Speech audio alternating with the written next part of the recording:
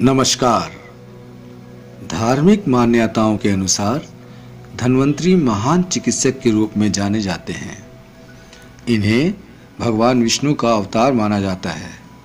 समुद्र मंथन के दौरान धन्वंतरी का पृथ्वीलोक में अवतरण हुआ था।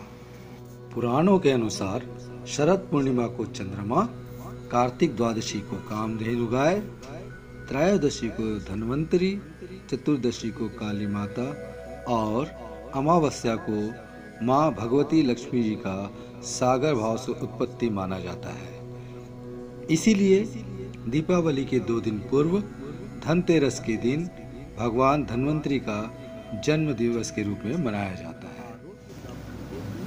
आरोग्य प्राप्ति हेतु भगवान धन्वंतरी का पौराणिक मंत्र इस प्रकार है।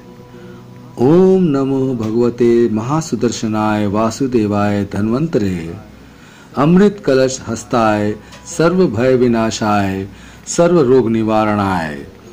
त्रिलोकपथाय, त्रिलोकनाथाय श्री महाविष्णु स्वरूप।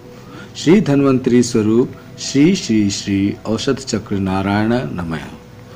अर्थात, परम भगवान, जिन्हें सुदर्शन वासुदेव धन्वंतरी कहते हैं जो अमृत कलश लिए हैं, सर्व भय नाशक हैं, सर्व रोग नाश करते हैं, तीनों लोकों के स्वामी हैं और उनका निर्वाह करने वाले हैं।